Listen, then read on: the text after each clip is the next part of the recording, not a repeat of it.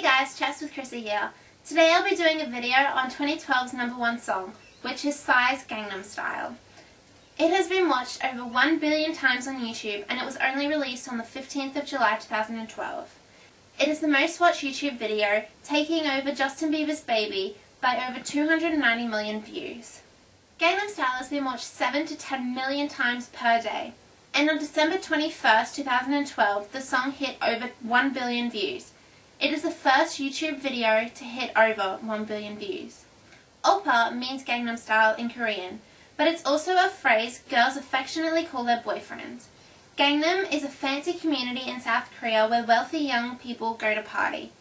Oppa Gangnam Style basically means your boyfriend is a rich kid. I like this song because it's got a really easy to listen to beat, it's really catchy, it's really good to dance to. I like driving along to it because it's really bouncy and it keeps me in a good mood. I can understand why it has hit over 1 billion views on YouTube because it's such a good song.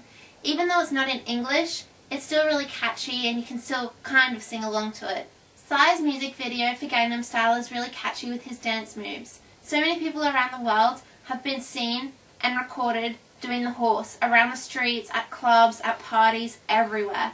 It's such a catchy dance move and I don't think anyone would have done it without that song being released.